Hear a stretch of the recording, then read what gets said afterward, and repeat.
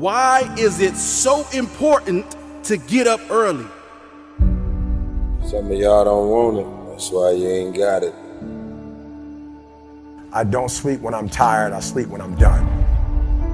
The average millionaire wakes up at 4 a.m. So it started off four o'clock in the morning where I'd start and I'd start with my cardio, then I'd have breakfast, and then I would go to the gym, and then I'd go to work. Some of y'all have no idea what 4 a.m. looks like Why would you not wake up at 4:30? because you're too busy sleeping in. I'm pretty sure I wake up earlier than all of you. We don't sleep when we're tired, we sleep when we are. Too busy hitting the snooze button multiple times. Excuses sound best to the person that's making them up. And if we can really be honest, some of y'all don't even go to bed until about 4 a.m. If you can get up before the rest of the world is awake, right? Before the enemy's awake, you can get so much done. You're so much more productive. Stop feeling sorry for yourself. Wake your ass up. And then they asked me, well, why are you up so early? Take responsibility to make your life happen. Awaken the beast inside. Wake up at 4 a.m. So I begin to tell myself there must be a reason. When you have something to do, when you have someone to love, when you have something to look forward to, when you get up in the morning. See, people who have something to look forward to don't need an alarm clock because they have a reason for being. You, if you want to have one of the best lives in the world, which is you live on your terms, then you have to pay your dues to get there. You've decided that you're not going to allow your circumstances to define you. You've decided that you're not going to allow the events, the things, the people, life determine who you become. You got a problem with your life. You got a problem with your environment. Do something about it. If you want more freedom in your life, you have to have more discipline. If you do what is easy, your life will be hard. But if you do what is hard, your life will be easy. You decided that you're not going to go through life being a whiner, being a complainer. That you're going to take responsibility for what it is that you want to create. The greatest ability that God has given humankind above the animals is the ability to choose.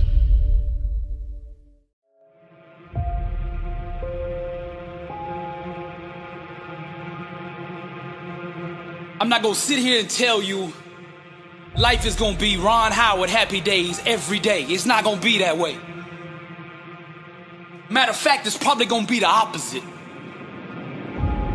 You see, the enemy is gonna throw everything he has in his toolbox at you.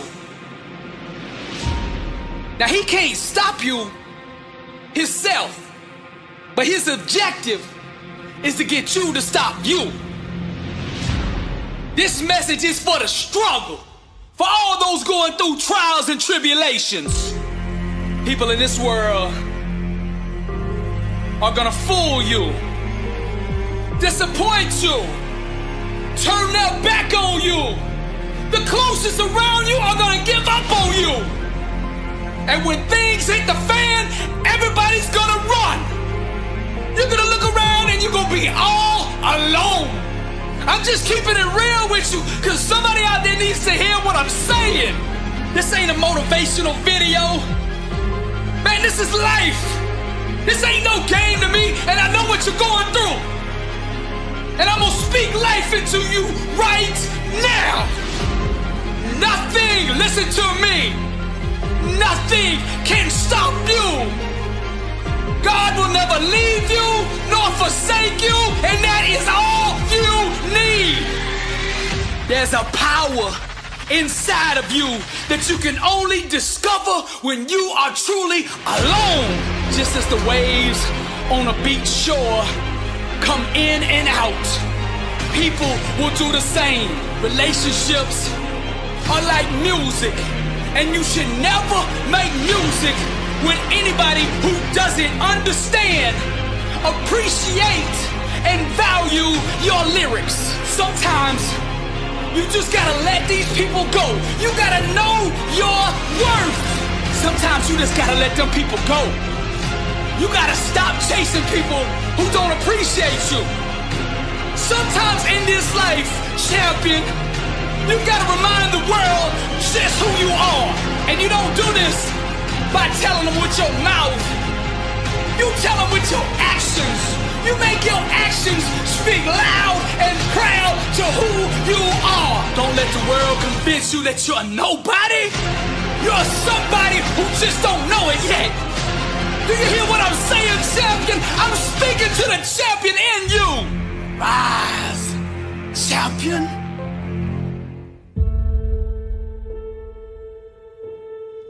I'm here to talk to you about you.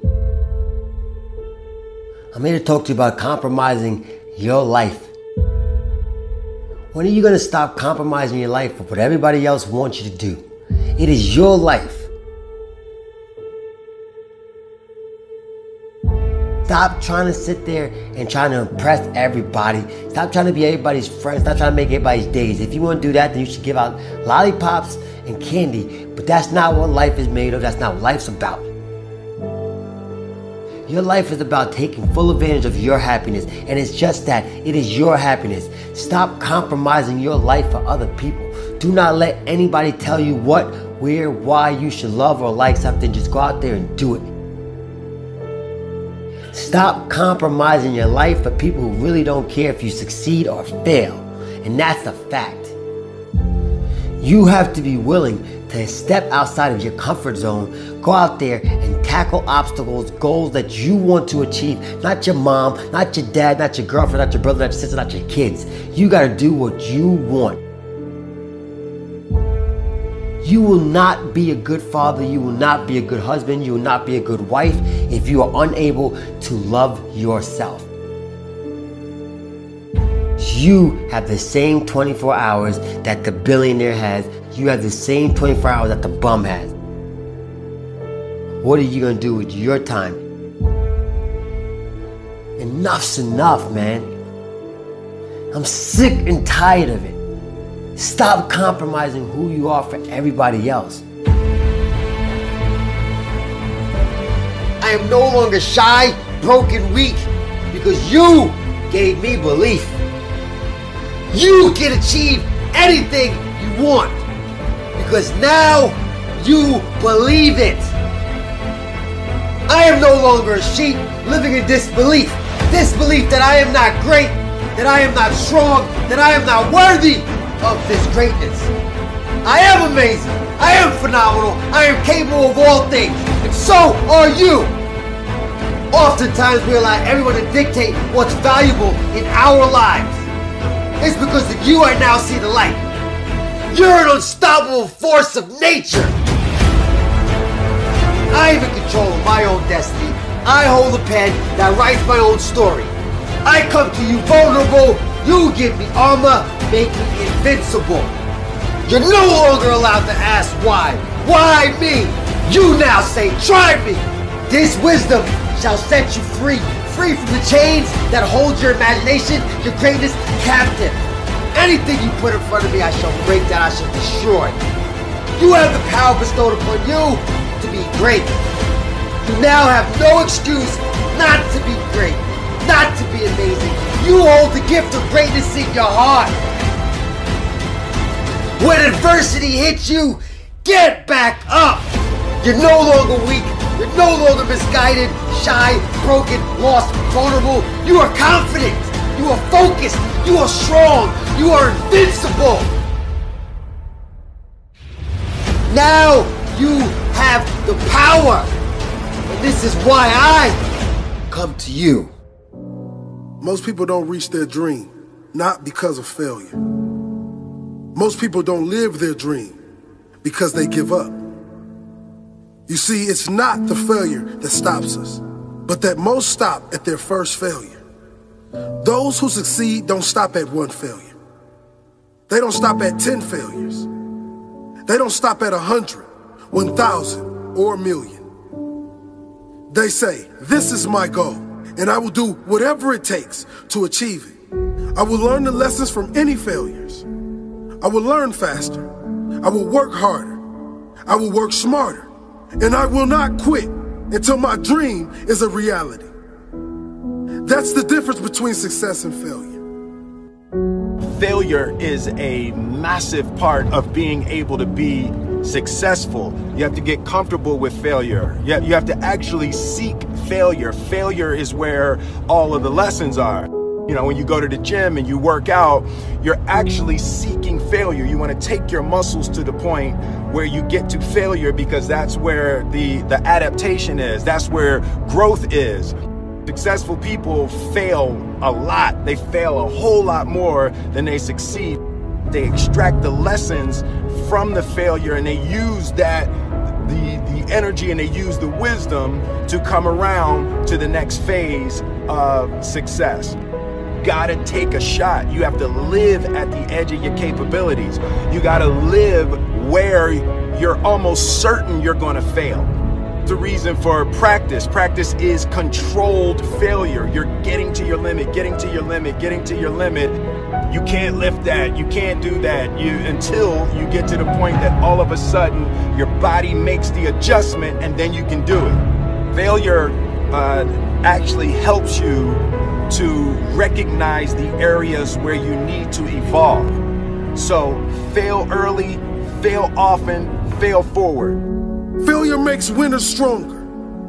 Failure makes winners hungrier. But it makes most give up. It makes most feel worthless. Winners don't enjoy failure, but they would never let failure stop them. Next time you encounter failure, you got to remember every great thing on this planet is here because the Creator learned what did work, but learned more from what did not work.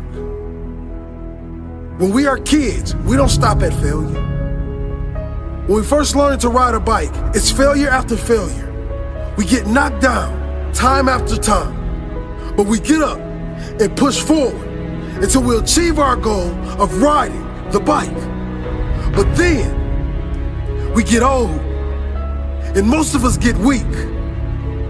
We are too soft to get back on the bike. We come up with excuses. It must not be for me. No, you just soft. No, you just lazy. Tell yourself the truth. Get back on the bike. Learn why you failed and make sure you don't fall again. Make sure you are stronger for having the lesson. You know, it's always a little bit frustrating to me when, when people have a negative relationship with failure. Fail early, fail often, fail forward. Sometimes your life won't turn out how you planned it. It turns out how you work for it. How you wake up and you chase that dream every single morning. It's what you give your time and your energy to that takes you to the next level. You see, I witnessed the death of my mother, the death of my grandfather, the incarceration of my father, and still I stood. Because when I walked in those projects, I realized one thing. I realized this that my dream never lived down there. I realized that everything I ever dreamed of lives in the sky, and I must jump every single day to go reclaim what's mine. And that's royalty. You see, many of us believe that just because our father was a drug dealer and our uncle was a drug dealer, that that is our life and that is our forever. But I want you to know something. That is only a lesson to show us to be something more than what they thought we can be. You see, when a family tree is dying, all you have to do is take care of the roots. And if the roots is too dead to bring the tree back alive, you plant another one. Young king and queen, I'm sorry, but we live in a generation today where you're going to have to grow up right now. You're going to have to be phenomenal in everything you do because everyone in the world is chasing greatness. And what do you do when a man is going 100 miles per hour and you haven't even started the engine yet? The best gifts come from the bottom. They say, well, why you want to be great? I don't want to be great for me. I want to be great so the project babies can look in the mirror and say, I am too. I am special. That flower grew in the same streets that I grew up in. That rose rose up through that concrete, and so can I. It's a mentality. Roses can grow in the projects if you take care of the soil. It don't matter how big the house is, baby. It's the love inside of it. Take care of your community. Take care of your brothers and sisters. Hold cowards accountable for what they put in your neighborhoods. Put your crown back on your head. Let the world know your name. King and Queen. This means you gotta work. This means you have to grind when they sleep. You gotta grind when they walk. You gotta grind when you do not feel like it. And this in all areas in life. School, sports, your religion. Consistency is the tunnel to greatness. Consistency will turn an ordinary man into something he never thought he can be. I want you to look in the mirror, young kings and queens today. If you're growing up with nothing and you're growing up with without, I want you to look in the mirror and I want you to say these words. I want you to say that I am royalty. I am more of my generational curses. I am more than my drug addict father. I am more incarcerated uncle. No, I'm not better than them, but I want to do better for them. I want to give our last name a legacy that will be remembered forever. That when people speak of it, people will smile automatically. See, this type of greatness I'm talking about, I'm talking about when I die, can't even fit another body in the church. Because what I gave the world. You see, you see all these men standing on top of the world. You think they're special. You think they're everything, but you don't know what they did to get there, king and queen. Are you willing to sell your soul for material things?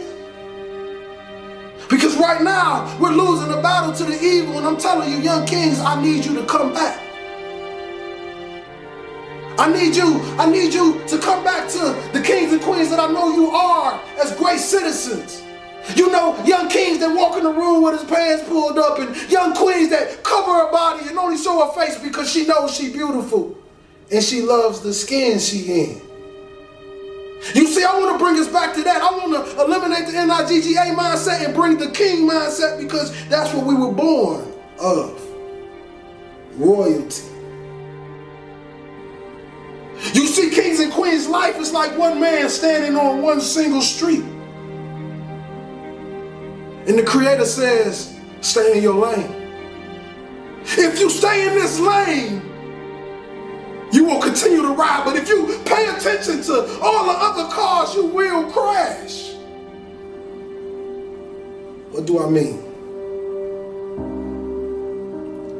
I mean, don't pay attention to the next man. Pay attention to the best man. See, the best man is whoever you believe he is because the mind has power. Your mouth and your words have power. I became a speaker by walking into a school after having suicidal thoughts, ready to blow my brains out.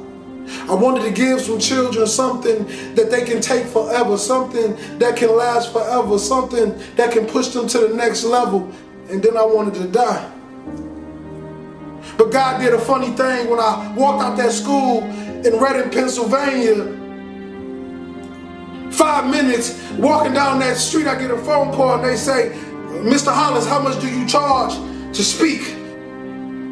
And that was the day my career started. Since then, I have done nothing but speak. Since then, I've paid every bill with nothing but what I make from what I speak. Since then, I've had a meal every single night. Since then, I've met beautiful, kind people that helped me go to the next level. Since then, since then, you get my point. God is amazing.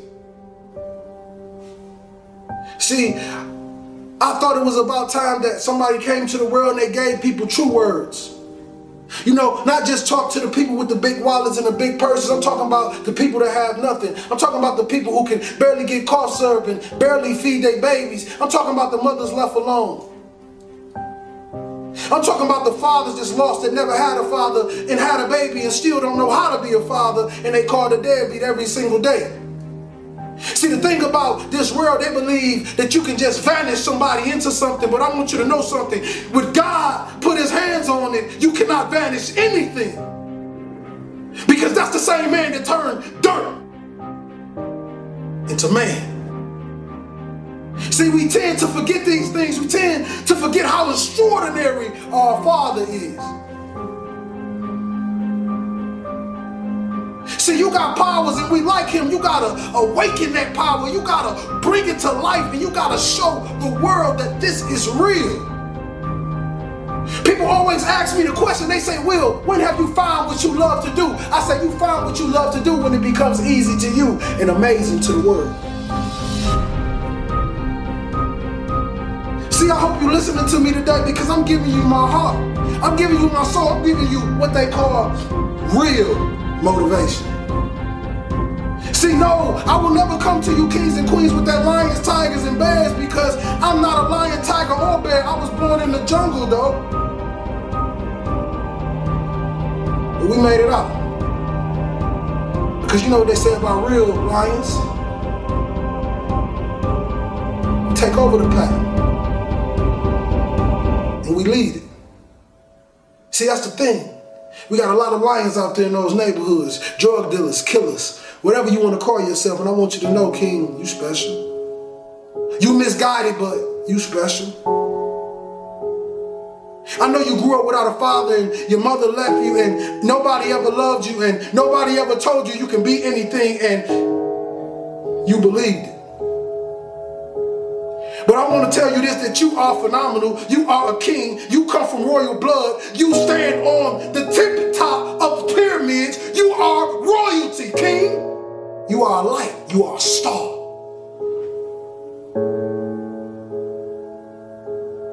The question is do you believe you are? Dale Carnegie said, most of the important things in the world have been accomplished by people who have kept on trying when there seemed to be no hope at all. Arise, champion. Now, perseverance transforms average, everyday people into world champions. So, the key to victory, the key to success is never giving up. And in order for you to do that, arise, champion. You're gonna need a strong why to prevail, a strong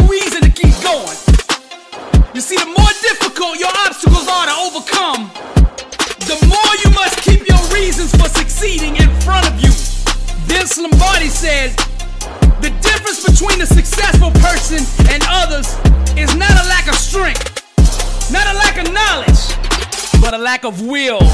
Success is not about how you look on the outside. Rise, champion. You might look like a Lamborghini, mean and clean, everywhere you go. But see, I'm interested in what's under the hood, because that's what really matters. When life hits you with that brick, and you get knocked down on that mat, and I'm talking to the Ronda Rouseys of the world down once and twice, and everybody out there is calling you a failure. Everybody out there saying it's over. What are you gonna do? Rise, champion. I don't even think they should be able to call you a champion until you've been beat. Because even losers keep going when they're winning. But when you get hit with that brick and you own that mat on your back, rise, champion. Then we separate the cream from the crop. Only when you're down 25 points on the biggest stage, like Tom Brady, and you come back, can we call you the greatest of all time? Abraham Lincoln said, I am not concerned that you have fallen. I am concerned that you arise. Champions make adjustments, not excuses. Get up! The ground, the mat, being on your back is no place for a champion. Get up! Rise, champion. Now you at that crossroads. The decision you make now will ultimately define your legacy. I'm speaking to the Tiger Woods of the world. Each loss, each setback, each heartbreaking disappointment will try to disguise itself as failure, but it's all a lie. The way of the warrior, champion eyes. Get back up. My spirit cries. Fear dies. Choked out by the scream. The desire to climb and live out my dream. Take it for the team. Discipline reigns. I want it too bad to listen to the pain. I'm a winner. To God be the glory. Tragedy and setbacks, an inspirational story. Warriors like me, we were strategically designed for the struggle. Many before me gave up and quit. Acted all bad to the first time they got hit. But see, blood don't scare me. I fear not death. Whatever it takes, champion, to be the best of the best. I was made for war. I cry out to heaven, blessed and unstoppable, an immortal legend. Climb, I say, the unclimbable mountain. Kicking and punching, I just keep on pounding. I found it, that deep desire to win. I remember defeat and I say, never again. See, warriors like me, we were born and strategically designed for the struggle. The way of the warrior, champion eyes. Get back up, my spirit cries. Fear dies, choked out by the screams. The desire to climb and live out my dreams. Take it for the team. Discipline reigns. I want it too bad to bow to pain. I'm a winner. To God be the glory. Tragedy, setbacks, an inspirational story. Many before me gave up and quit. Acted all bad to the first time they got in. Blood don't scare me. I fear not death. Whatever it takes, champion, to be the best of the best. Climb, I say, the unclimbable mountain. Kicking and punching, I just keep on pounding. Because I'm a warrior, and that's what we do. I'm Billy Alsbrooks, blessed and unstoppable. To God be the glory.